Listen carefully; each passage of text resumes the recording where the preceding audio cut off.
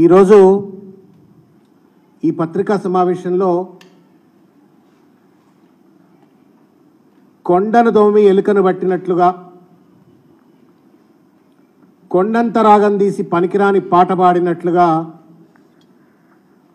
తెలంగాణ రాష్ట్ర ముఖ్యమంత్రి రేవంత్ రెడ్డి గారు దావోస్కెళ్ళి వ్యవహరించినటువంటి యొక్క అనుచితమైనటువంటి యొక్క వైఖరి పట్ల అబద్ధాల పట్ల తెలంగాణ సమాజానికి తెలియజెప్పడం కోసం అని చెప్పని ఈరోజు ఈ పత్రికా సమావేశాన్ని ఏర్పరచడమైంది ఎలకతోలు ఎంత ఉతికినా నలుపు నలుపే కానీ తెలుపు కాదన్నట్లుగా అబద్ధాల పునాదుల మీద రాజకీయం చేసినటువంటి ఒక రేవంత్ రెడ్డి గారు అహంకారాన్ని ఆభరణంగా పెట్టుకొని ఇష్టం వచ్చినట్లు పరుషమైన పదజాలంతో మాట్లాడుతూ రాజకీయాన్ని చలామణి చేసినటువంటి ఒక రేవంత్ రెడ్డి గారు ముఖ్యమంత్రి కుర్చీలో కూర్చున్నాకనైనా అబద్ధాలు మర్చిపోతాడు అహంకారం మర్చిపోతాడు హుందాగా వ్యవహరిస్తాడు ఆ కుర్చీకి వన్నె తెచ్చేటువంటి ఒక రీతిలో వ్యవహరిస్తాడు అని చెప్పని ఆశపడ్డం ఆశించినాం. కానీ దానికి భిన్నమైనటువంటి ఒక దుర్మార్గమైనటువంటి ఒక వైఖరిని వాళ్ళ ఆఖరికి అంతర్జాతీయ వేదిక అయినటువంటి యొక్క దావోస్లో కూడా అటువంటి ఒక చిల్లర ప్రయత్నం చేసిండ్రు. దాన్ని తెలంగాణ సమాజం అర్థం చేసుకోవాలని చెప్పని కోరుకుంటూ రేవంత్ రెడ్డి గారు ఇవాళ ఆయన ఒక వ్యక్తి కాదు ఆయన ఒక పెద్ద శక్తి. తెలంగాణ ప్రభుత్వానికి ముఖ్యమంత్రి. ముఖ్యమంత్రి హోదాలో ఉండి ఒక కంట్రీ లెక్క వ్యవహరించకుండా ఒక హుందాగా ఉండాలని చెప్పని ఆయన వైఖరిలో మార్పు రావాలన్న ఉద్దేశంతో కూడా తెలంగాణ ప్రజల పక్షాన ఈరోజు ఈ పత్రికా సమావేశాన్ని పెట్టడం అయింది.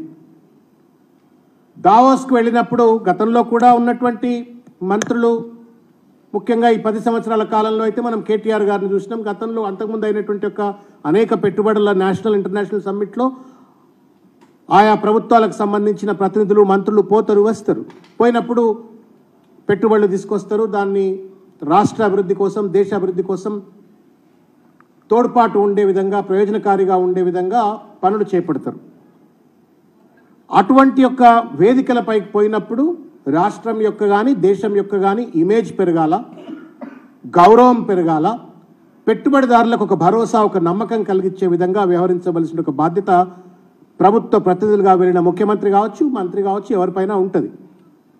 కానీ దానికి భిన్నంగా అబద్ధాల పునాదుల మీద రేవంత్ రెడ్డి గారు అక్కడ రాజకీయానికి వేదికగా దాన్ని వాడుకున్నారు. దాన్ని తీవ్రంగా ఖండిస్తూ ఇవాళ ఈ పత్రికా సమావేశాన్ని పెట్టడం అయింది. రాష్ట్రం యొక్క ప్రతిష్ట పెంచవలసింది పోయి ఒక పబ్లిక్ రిలేషన్ స్టంట్ కోసం వ్యక్తిగత ఇమేజ్ని పెంచుకోవడం కోసం మాత్రమే రేవంత్ రెడ్డి దీన్ని వాడుకున్నట్టుగా మేము భావిస్తూ ఉన్నాం. చదువులో కానీ అనుభవంలో కానీ ఆయన కంటే ఒక మెట్టి ఎక్కువలే ఉన్నటువంటి ఒక శ్రీధర్ బాబు గారు సాక్షాత్తు సంబంధిత శాఖ మంత్రి IT and industries minister.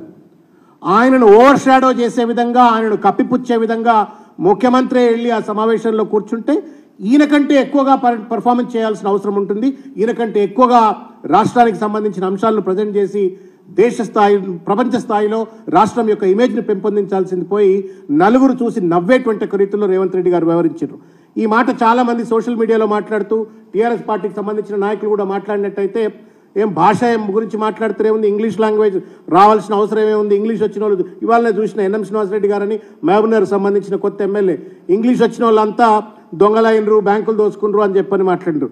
It's not the question of language భాష గురించి మాట్లాడతలా భావం గురించి మాట్లాడతాం.